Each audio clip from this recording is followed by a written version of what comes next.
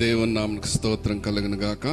ప్రభు తన అత్యంత ప్రేమ కృపచేత నాకు ఇచ్చినటువంటి ఈ ధన్యతను బట్టి దేవునికి వందనాలు చెల్లిస్తూ ఉన్నాను అలాగే ఇక్కడ చేరిన మరి ప్రియులైన వారందరికీ కూడా హృదయపూర్వక వందనాలు చెల్లిస్తున్నాను. ఇప్పటి వరకు మనం మూడు మాటల ధ్యానాన్ని చేసుకుందాం. మరి దేవుడు సిలువలో పలికినటువంటి ఏడు మాటలు కూడా ఆణిముత్యాలు లాంటివి. మరి ఈ నాలుగవ మాట ఇది సెంటర్ వర్డ్. ఒక విలక్షణమైనటువంటి మాట. మరి దీనికి అనేకులు చెప్తూ ఉంటారు ఇది ఒక ఆక్రందన లాంటిదని ఒక పొలికేక లాంటిదని.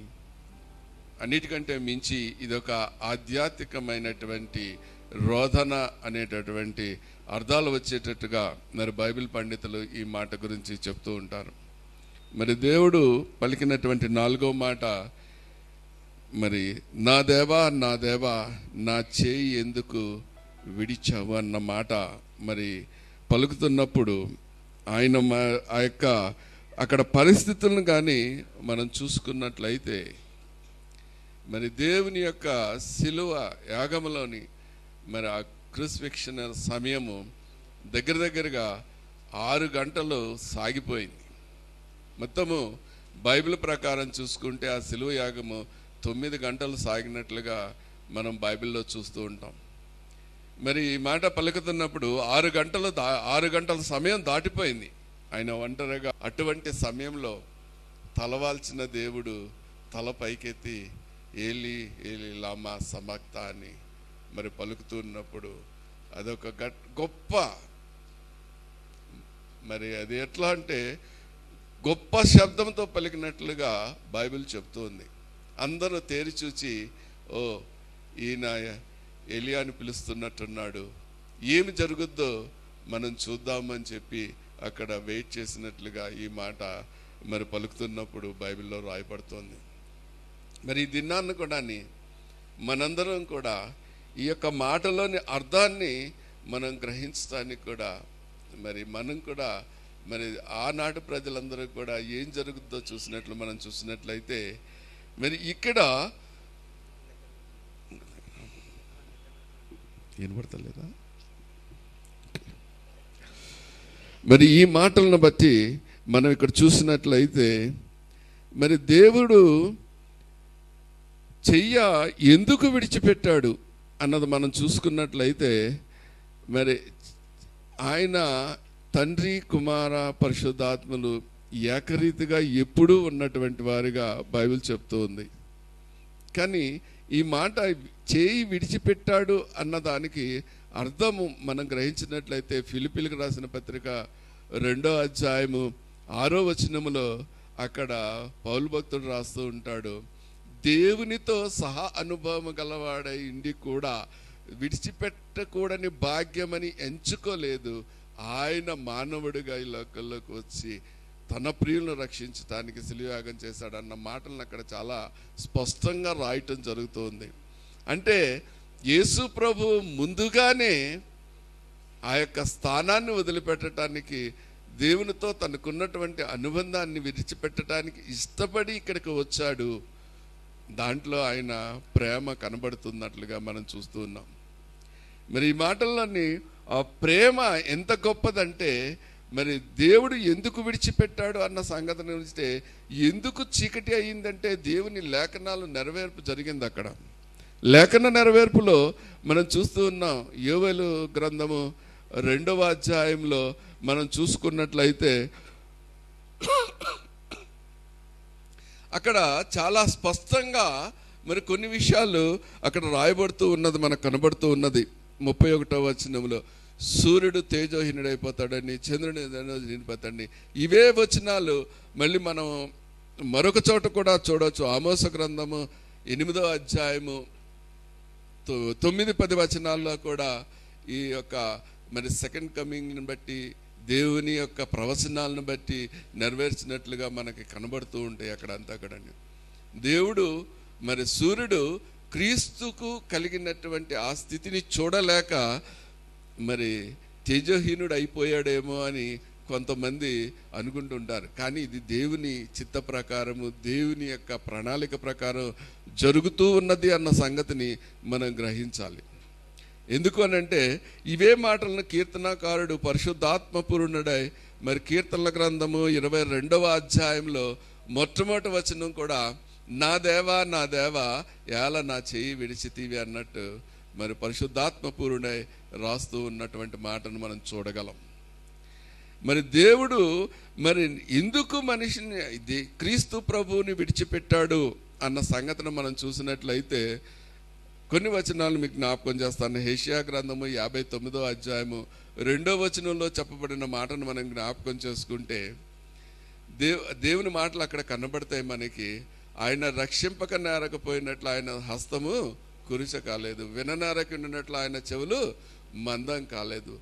ఆయనకును మనకును మన పాపములే అడ్డుగా వచ్చాయి అని చెప్పేసేసి మరి దేవుని మాటలు అక్కడ మనకి కనబడుతుంది. అంటే దేవుడు ఆ సమయంలో లోక పాపాన్ని అంతటిని ఆయన మీద మరి వేసినట్లుగా మనం చూస్తూ ఉన్నాం. తండ్రి అయిన దేవుడు పాపుల్ని క్షమించటానికి ఆయన ఇష్టపడ్డాడు కానీ పాపాన్ని ఇష్టపడలేదు. అనేక మనలు మన దైవజనులు మనకు హెచ్చరిక చేస్తూ ఉంటారు. ఆ పాపము మోసేటటువంటి క్రీస్తు ప్రభువుని మరి మనం అక్కడ చూస్తూ ఉన్నాం. అందుకనే ఆయన మరి యోహాను సువార్త మొదటి అధ్యాయము ఇరవై తొమ్మిదో వచనంలో ఇదిగో లోక పాపములు మోసుకొని పోవు దేవుని గొర్రె పిల్ల అని అక్కడ చెప్తుంది. మన లోకంలో ఉన్నటువంటి పాపాన్నంతటిని మరి ఆయన ఆ క్షణములో భరించటం జరిగింది కనుక దేవుడు ఆయనని ఒక్క క్షణము చేయి విడిచిపెట్టినట్లుగా మరి దైవదించలు చెప్తారు. దేవుడు చెయ్యి ఎందుకు విడిచిపెట్టాడు అన్నదానికి? మరి దేవుడు పాపం చేయలేదు కదా? దేవుడు పాపం చేశాడమ్మా? చేయలే. మరి ఎందుకు విడిచిపెట్టాడు తండ్రి? అంటే మన మానవుల రక్షణ కోసం దాన్ని తేటతల్లంగా మనకి రెండో కొరందులకు రాసిన పత్రికలో పౌలు భక్తుడు రెండో అధ్యాయము ఐదో అధ్యాయం ఇరవై మూడో వచనంలో అనుకుంటాను ఆయన పాపము లేనివాడు కానీ ఆయనను పాపముగా దేవుడు మార్చాడన్న సంగతిని మరి రెండో కొరిందలో ఐదో ఐ- ఐదో అధ్యాయం ఇరవై ఒకటో వచనంలో అక్కడ పౌరు భక్తుడు చెప్తున్నాడు. ఆయనకు పాపం లేదు కానీ దేవుడు ఆయనని పాపముగా మార్చాడంట. ఎందుకు మార్చాడంటే మనల్ని అందరినీ ప్రేమించి ఆయన సృష్టికర్తగా సృష్టిలోని ప్రతి వ్యక్తిని ప్రేమించి ఆ శిక్ష వారు భరించకుండా ఉండుటకు దేవుడు యేసుప్రభు మీద ఆ శిక్షను ఆయన వేసటం జరిగింది. అందుకు ఆ క్షణములో దేవుడు ఆ యొక్క క్రీస్తుని సిలువలో ఉన్నటువంటి క్రీస్తుని చేయి విడిచి మన చేయి పట్టుకోవడం జరిగింది. ఆ కార్యం ద్వారా జరిగింది. కానీ నిజానికి మరి ఆ పాప శిక్ష ఎంత భయంకరమైనదో మరి దేవుడు అనుభవిస్తూ ఉన్నప్పుడు మనం దాన్ని గ్రహించాల్సిన అవసరం ఉందండి. మనం చేసిన పాప శిక్ష ఎంత భయంకరమైనదో ఎంత ఘోరమైనదో దేవుని దృష్టిలో అది ఎంత శిక్షకు పాత్రమైనదో మనం గ్రహించాలి. దేవుడు పొందిన ప్రతి దెబ్బ నుంచి దేవుడు పొందిన ప్రతి అవమానాన్ని నుంచి దేవుడు పొందినటువంటి ప్రతి ఒక్క కార్చిన ప్రతి రక్త బిందు నుంచి మనం గ్రహించాల్సింది ఏంటంటే మన పాపము ఎంత భయంకరమైనటువంటి శిక్షకు మనల్ని తీసుకువెళ్తుంది అన్న సంగతిని మనం గ్రహించాలి. దేవుడు అక్కడ ఆయన యొక్క మాటలు నెరవేర్పడమే కాదు దేవుడు పాపాన్ని ఎంతగా అసహించుకుంటాడో పాపాన్ని ఎంతగా ఆయన ద్వేషిస్తాడో పాపాన్ని ఎంతగా ఆయన శిక్షిస్తాడో అక్కడ చాలా స్పష్టంగా కనబడుతుంది. కనుక దీని నుంచి మనం అర్థం చేసుకోవాల్సింది ఏంటి అంటే క్రీస్తు ప్రభువుని మనం జ్ఞాపకం చేసుకొని మన పాపం నిమిత్తమే మనం ప్రాయచిత్తం చేసుకుంటే తప్ప పశ్చాత్తాత పడితే తప్ప ఆ శిక్ష నుండి మనం విడుదల పొందలేము. ఇందాక నేను గుర్తు చేసినట్లుగా యోవేలు ఆమోస్ గ్రంథాల్లో మీరు చూడండి ఆ పైన వచనాలు దాన్ని అది మహాభయంకరమైనటువంటి దినముగా మరి చెప్పబడుతుంది. ఒకవేళ మనం అదే పాపంలో నిలిచిపోయి ఉండినట్లయితే క్రీస్తు చేసిన ఆ సులువు యాగాన్ని మనం ఏదో జ్ఞాపకం చేసుకోవటం మాత్రం చేయటం చేస్తే ఆ యొక్క గొప్ప భయంకరమైన స్థితిని మనం కూడా ఎదుర్కోవాల్సి వస్తుంది అన్న సంగతిని మనం జ్ఞాపకం చేసుకోవాలి. ఎందుకంటే దేవుని మాటలలోని సత్యాన్ని మనం గ్రహించాల్సింది. ఎందుకంటే దేవుడు చెప్తూ ఉన్నాడు. హెబ్రిల్ రాసిన పత్రికలో మరి పదమూడో అధ్యాయం ఐదో వచనంలో చెప్తాడు నిన్ను విడువను ఎడబాయనని అని చెప్తున్నాడు. మరి క్రీస్తును కూడా విడువను ఎడబాయనని చెప్పిన వ్యక్తి ఆ పాప స్థితికి మోసే స్థితిలో దేవుడు విడిచిపెట్టేశాడు. మన నిన్ను విడువను ఎడబాయను అని చెప్పాడు కాబట్టి నా ఇష్టానుసారంగా నేను జీవించుకుంటా ఉంటాను. దేవుడు ఆల్రెడీ నా పాపాలని అక్కడ భరించేస్తాడు కాబట్టి నాకు ఇంకా ప్రాబ్లం లేదు. దేవుడు విడిచిపెట్టను అన్నాడు కాబట్టి నేను ఈ పాపంలోనే ఉంటానని ఎవరన్నా నించుకుంటే క్రీస్తు విడిచిపెట్టే క్రీస్తుని విడిచిన దేవుడు నిన్ను కూడా ఒక్క క్షణం విడిచిపెడితే నువ్వేమవుతావు అన్న సంగతిని జ్ఞాపకం చేసుకోండి.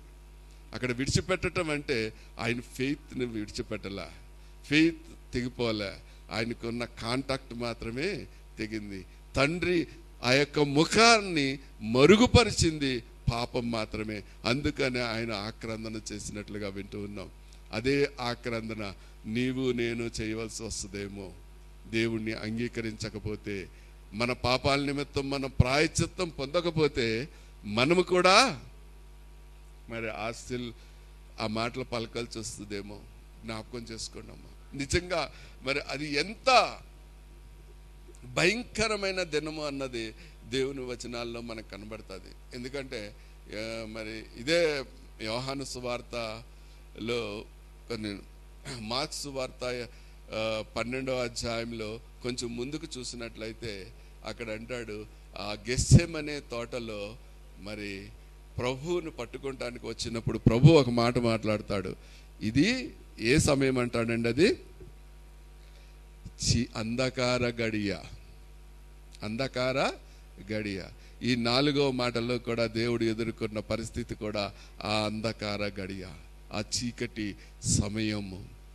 మరి నీ నా జీవితంలో పాపను విడిచిపెట్టకపోతే మనం కూడా ఎదుర్కొనే గడియ ఏంటయ్యా అంటే అంధకార గడియలు ఎదుర్కోవాల్సి వస్తుంది. దేవుడు చేసిన ఆ కార్యాన్ని మనం జ్ఞాపకం చేసుకునే ఆ వేదనాభరితమైన బాధను ఆయన అనుభవించాడు అది మనం పొందవలసిన శిక్షణని మనం జ్ఞాపకం చేసుకుని ప్రాయచిత్తం చేసుకోకపోతే పాపానికి మనం క్షమాపణ పొందుకోకపోతే మనం పశ్చాత్తాత పడకపోతే నీవు నేను ఎదుర్కోవాల్సిన గడియలు అంధకార గడియలు ఉన్నాయి. ఆయన రెండవ రాకడలో మనం అంధకార గడియలను ఎదుర్కోవాల్సి వస్తుంది అన్న సంగతిని జ్ఞాపకం చేసుకోండి దేవుని యొక్క మరి ఆ యొక్క అరుపులో ఆ ఆక్రందనలో ఒక చక్కటి మాట నెరవేర్పు జరిగినట్లుగా మనం చూడగలం. అది ఎలాంటి మాట అని అంటే ఆయన అరుపు ఏం చేసిందంటే దేవుడు అక్కడ విడిచిపెట్టడం వలన ఆయన మరి మానవుడిగా తన ఆ బాధను భరించటం వలన మన అరణ్యం లాంటి జీవితాలలో మనకి వెలుగు వచ్చింది. దేవుడు మన పాప జీవితాలలో వెలుగు పెట్టింది. అదే వాక్యాలని మరి యోహాను భక్తుడు ద్వారా కూడా మరి గ్రంథంలో కూడా రాయింది. ఆయన ఏమన్నాడు? అరణ్యములో త్రోవ సరిచేయటానికి యోహాను భక్తుడు వచ్చాడు కదండి. అదే కదా వాక్యం చెప్తా ఉన్నది. మరి అరణ్యంలో ఆ త్రోవని ఆయన ఏర్పాటు చేసినటువంటి దేవునుడు మనకి మన అరణ్యము లాంటి మన పాపపు బతుకులో ఆ యొక్క అరుపు ద్వారా ఆధ్యాత్మికమైన రోదన ద్వారా ఆ రోదన ఆయనకి విడుదలని మనకి కలిగించిందన్న సంగతిని మనం జ్ఞాపకానికి. ఎందుకంటే ఉదాహరణకి నేను ఒక చిన్న మాట మీకు జ్ఞాపకం చేస్తానండి. మరి లూకాసు వార్త పద్దెనిమిదో అధ్యాయం ముప్పై ఎనిమిదో వచనంలో మనం చూసుకుంటే అక్కడ భర్తలోమే అనేటటువంటి గుడ్డివాడు సారీ భర్తలోమే కాదు గుడ్డివాడు దేవుడిని ఆ ద్వారా వెళుతూ ఉన్నాడని గ్రహించి ఏమంటాడంటే యేసు యేసు నన్ను కరుణించు అని గట్టిగా అరుస్తాడు. ఆ అరుపులో మరి ఆ యొక్క గుడ్డివాడు చూసినటువంటి ఆ యొక్క విజన్ ఏంటంటే దేవుని వలన నేను వెలుగును పొందుకుంటున్నా ఆ చీకటి జీవితంలో వెలుగును పొందుకుంటున్నాను. ఆ అరుపు వెనుక ఉన్న అర్థము ఆ వెలుగును చూడటమే. ఈ దినాన్న యేసు ప్రభువు మరి నా దేవా నా దేవా నా చేయి ఎందుకు విడిచావన్న అరుపులో దేవుని కార్యము దేవుని వెలుగు దేవుని ప్రేమ అక్కడ చోటు చేసుకున్నట్లుగా మన వాక్యంలో చాలా స్పష్టంగా చూసుకోగలము అని మరి ఇక్కడ ఈ బైబిల్ గ్రంథం ద్వారా మనం తెలియపరుస్తుంది. కనుక ఈ దినాన్న వాక్యం వింటున్నటువంటి మన అందరము కూడానమ్మా. మనందరము కూడాని దేవుని ఒకసారి జ్ఞాపకం చేసుకుందాం. దేవుడు ఎందుకు మరి యేసు ప్రభు చేయి విడిచాడు అంటే నీ నా పాపం వలనే దాన్ని మర్చిపోవద్దు. ఇప్పటివరకు చక్కటి మాటలు విన్నాం. ఈ యొక్క ఆక్రందన ఎందుకు ఆయన బా బాధపడ్డాడు అన్న సంగతి అంటే మనల్ని రక్షించటం కోసం బాధపడ్డాడు అన్న సంగతిని ఈ మాట ఆయన చెయ్యి వదలటం వలన మనకి ఏం కలిగిందండి? మన జీవితాల్లో వెలుగు వచ్చింది. ఆ వెలుగుని ఆ వెలుగులో మనం నడిచి వెళ్ళాలి. లేదు అని అంటే మనకి ఏ గడియలు ఉన్నాయమ్మా? అంధకార గడియలు మన కోసం ఎదురు చూస్తున్నాయి. ఆ రెండవ రాకడలో అమోస గ్రంథంలో యోవేలు గ్రంథంలో చెప్పబడిన అంధకార గడియలు ఎదుర్కొంటానికి మీరు సిద్ధపడుతున్నారా? లేక దేవుడు మనల్ని ప్రేమించి చేసిన ఆ సిలువ యాగములో మన పాపాన్నంతటిని మన శిక్షనంతటిని ఆయన భరించి వేసిన ఆ యొక్క ఆర్తధ్వనిలో నుంచి వచ్చినటువంటి ఆ వెలుగులో నడవాలని మీరు నిశ్చయించుకుంటున్నారా అన్నది ఇది నన్ను మీరందరూ కూడా ఇక్కడ వాక్యమైన ప్రతి ఒక్కరు కూడా మనం నిర్ణయించుకుని దేవుల్లో ముందుకు కొనసాగుదాం.